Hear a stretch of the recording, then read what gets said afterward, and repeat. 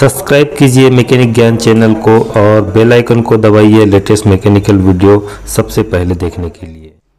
दोस्तों, नमस्कार, मैं हूँ रवि खरकाटे और मेरा यूट्यूब चैनल मैकेनिक ज्ञान में आप सभी लोगों का स्वागत है। दोस्तों, जैसे कि आप स्क्रीन पे देख पा रहे हैं, हमारे पास है अशोक लेलैंड की 2516 कार्गो मॉडल। और दोस्तों, इसमें क्या प्रॉब्लम था? चलिए हम उसके बारे में बात कर लेते हैं। दोस्तों, ये गाड़ी लोडिंग लेके जा रही थी। लोडिंग लेके जाते जाते ही गाड़ी रास्ते में बंद हो गई। और बंद होने के बाद, दोस्तों, हमने मैकेनिकल इलेक्ट्रीशियन दोनों को चेक कराया बट ये इंजन जाम हो चुका है। अब जाम होने का कारण क्या है? चलिए हम आगे इस वीडियो में पूरे डिटेल्स में बताने की कोशिश करते हैं। तो चलिए दोस्तों, हम वीडियो को ज़्यादा देरी न करते हुए वीडियो को स्टार्ट करते हैं।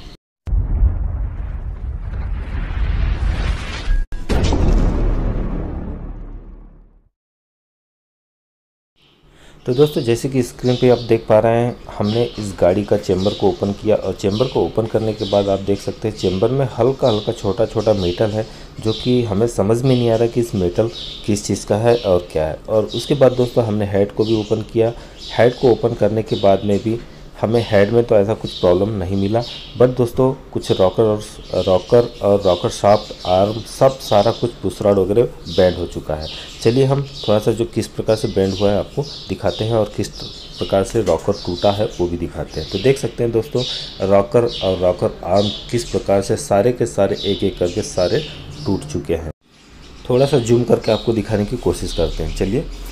तो देख सकते हैं, ये ये है पुसरट, ये देख सकते हैं पुसरट सारे के सारे पुसरट जो कि है दोस्तों पूरे बैंड हो चुके हैं और ये सब सारा टूट फूट होने का कारण क्या है, वो भी हम आगे इस वीडियो में डिस्कस करेंगे। तो चलिए थोड़ा सा हम वीडियो को जूम करते हैं और आपको दिखाते हैं किस प्रकार से रॉकर और रॉकर ब्रेकेट टूटे हुए हैं। तो देख सकते हैं दोस्तों, पूरी रॉकर साफ्ट ही बैंड हो चुकी है और रॉकर और रॉकर आर्म टोटल ही टूट चुका है और पुसराट भी सारे के सारे बैंड हो चुके हैं। चलिए हम अब आगे चलते हैं। दोस्तों, हमने इस इंजन का चैम्बर चैम्बर खोलकर देखा था। चैम्बर में हल्का हल्का सा मेटल आया हुआ है। अब उसके बाद दोस्तों, हमने हेड को भी ओपन कर लिया, तब भी इंजन फ्री नहीं हो रहा था। उसके बाद दोस्तों, हमें क्या करना है? अब हम टाइमिंग प्लेट को खोल कर देखते हैं और टाइमिंग प्लेट खोलने के बाद में हम आपको बताते हैं कि वाकई में इसमें प्रॉब्लम क्या था। ठीक है?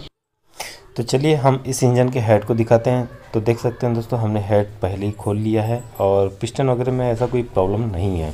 तो दोस्तों, अब क्या करना है हमें? हमें इस टाइमिंग प्लेट को ओपन करना है और ओपन करके देखते हैं दोस्तों कि इसमें क्या प्रॉब्लम है। तो देख सकते हैं दोस्तों, जैसे ही हम टाइमिंग प्लेट को बाहर निकालते हैं तो इससे क्या होता है? आप देखना अभी। तो तो देख सकते हैं दोस्तों, हम चलिए टाइमिंग प्लेट को बाहर निकाल रहे हैं। तो देख सकते हैं दोस्तों आइडल गियर जैसे ही हमने टाइमिंग प्लेट को बाहर निकाला, वैसे ही आइडल गियर नीचे आ गया।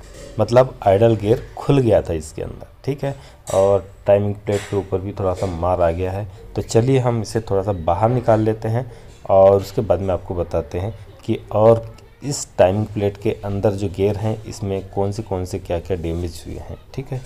तो दोस्तों देख सकते हैं, ये है टाइमिंग प्लेट जो कि बाहर आ चुका है और देख सकते हैं, इस कॉलर के ऊपर ऑयल सील का जो कॉलर है, वो तक के काट दिया है। यह आइडल गियर खुलने की वजह से हुआ है दोस्तों, ठीक है? उसके बाद देखते हैं, चलिए हम आइडल गियर को। तो दोस्तों आइडल गियर जो कि एकदम सही साइड दिख रहा है, कोई दिक्कत नहीं है। तीथ वगैरह टोटली प्रॉपर एकदम सही तरीके से है। इतना सारा नुकसान होने का जो मेन कारण है आइडल गियर का जो बोल्ट है, वो खुल गया था। इस वजह से दोस्तों, ये प्रॉब्लम आई है, ठीक है? तो इसके बाद और देखते हैं दोस्तों कि और इसमें क्या डैमेज है ओके तो चलिए, थोड़ा हम टाइमिंग गियर के पास में चलते हैं। तो दोस्तों, देख सकते हैं, ये जो ऑयल पम्प का गियर है, हल्का हल्का डैमेज हुआ है, ठीक है? उसके बाद दोस्तों, जो नीचे वाला जो क्रैंक का मेन गेयर है, ये पूरा डैमेज हो चुका है। ये ऊपर से सही साइड दिख रहा है, पर दोस्तों आपको नीचे से आपको दिखाने की कोशिश करता हूँ, ठीक है? तो देख सकते हैं दोस्तों, क्रैंक का जो गेयर है, उसके सारे जो नीचे साइड के तीत हैं, सारे के सारे स्लिप हो चुके हैं। और इसका मेन कारण है, वो है आइडल गेयर। आइडल गेयर का बोल्ट नहीं खुलता तो ये प्रॉब्लम नहीं आती, ठीक है? तो दोस्तों, आप लोगों ने देखा, इस इंजन में क्या क्या प्रॉब्लम निकला है, और इसका मेन कारण है आइडल गेयर।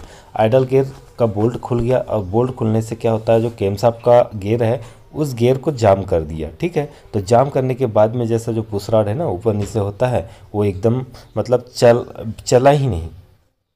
ना चलने की वजह से सारे पूसराट बैंड हो गए, रॉकर टूट गया, रॉकर आर्म टूट गया, उसका ब्रेकेट टूट गया, रॉकर साप तक बैंड हो गए और सारे पूसराट टूट गए। तो दोस्तों, यह वीडियो कैसा लगा हमें कमेंट बॉक्स में लिख कर बताएँ। और वीडियो अच्छी लगी हो दोस्तों तो लाइक करना और अपने दोस्तों के साथ में शेयर करना बिल्कुल भी ना भूलें। हम फिर किसी नेक्स्ट वीडियो के साथ में मिलते हैं। तब तक के लिए बाय दोस्तों।